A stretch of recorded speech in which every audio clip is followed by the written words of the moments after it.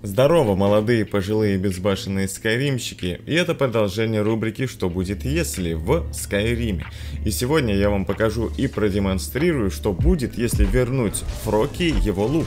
Этот лук находится вот в этой данной пещере, называется она Серозимняя застава, и здесь можно найти его лук, который лежит вот на этих бочечках. Ну что ж, давайте теперь этот лук возьмем и принесем его хозяину, а именно Фрокки.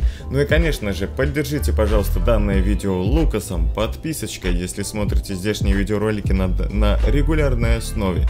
И большая благодарность вот этим молодым ребяткам. Спасибо им большое за поддержку. Благодаря вам этот канал все еще выпускает видеоролики. Ну да, а шо? А не? Погнали теперь тогда получается по Некселю. Не будем тянуть Фрокки за его лук. Я-то поверил, будто юнцы еще помнят о чести. Нужно что-то? Поверить не могу.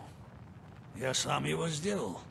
И скажу тебе, мы с ним не одно приключение пережили. А знаешь что? Забирай-ка его себе. Мне-то на охоту больше не ходить, а у тебя еще все впереди. Ну и после всего этого, естественно, он нам этот лук дарит, кто бы сомневался.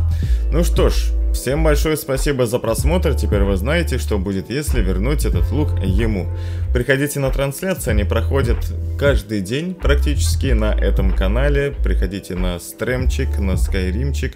Всех люблю, целую и еще раз огромнейшее спасибо за просмотр. Пока-пока.